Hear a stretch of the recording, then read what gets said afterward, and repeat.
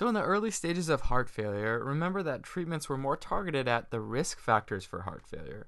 And this is usually before the symptoms of heart failure even come about to try and slow or stop these symptoms from ever appearing. But in the later stages, when the symptoms associated with heart failure have already started to crop up, there's going to be a different set of medications that we might try and use that are aimed at treating and controlling these symptoms that have already started to affect the patient's quality of life. And two of the main symptoms we're going to target are congestion, or fluid buildup, and fatigue. So, the first type that we look at are diuretics, and these medications help treat the symptoms of congestion. But how do they do that? Well, they help the body get rid of excess fluid. And this can have several effects, one of which is to reduce the symptoms that result from fluid buildup, right?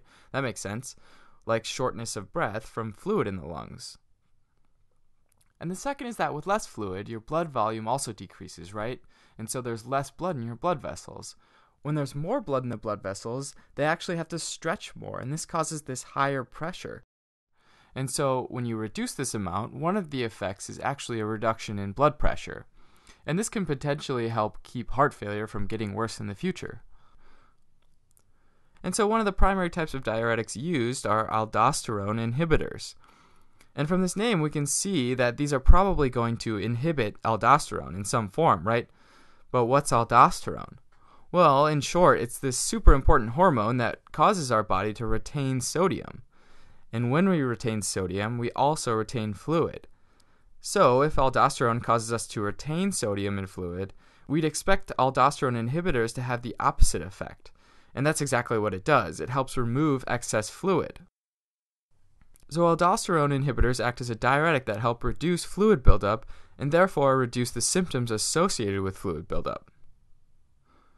And the second type of medication that might be prescribed are calcium channel blockers. These, however, are reserved for treating diastolic heart failure, where your heart has trouble filling with enough blood. Again, the name is going to be pretty self explanatory, right? These must block the channels for calcium. And the entry of calcium through these channels plays an important role as a messenger that tells certain muscle cells that it's time to contract. And one of these types of muscles is the smooth muscle around your arteries. And so, if this channel is blocked and this muscle isn't getting the signals to contract, that means they aren't as constricted. So, one of the effects is to dilate your arteries.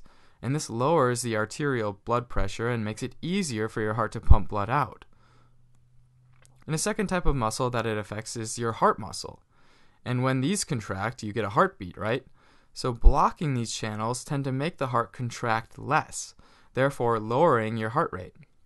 And lowering your heart rate gives it more time to fill with blood and allows more blood to be pumped out, which is a big part of diastolic heart failure. And so if you're pumping more blood out, that means your body's receiving more blood, so you might not feel as fatigued as you did before. Finally, the last type of medication that's not as often used anymore, but sometimes for select patients, is digoxin. And it has two main effects. So, the first effect is that it can increase the strength of your muscle contractions in your heart, so it makes the heart pump harder. And then it tends to slow down the heart rate, so sometimes it's used for patients that have uncontrollably fast heart rates, and it just kind of brings it down to a reasonable level. And so, in addition to these just listed, the ACE inhibitors and the beta blockers described in the early stages video may also still be used to control blood pressure in the later stages.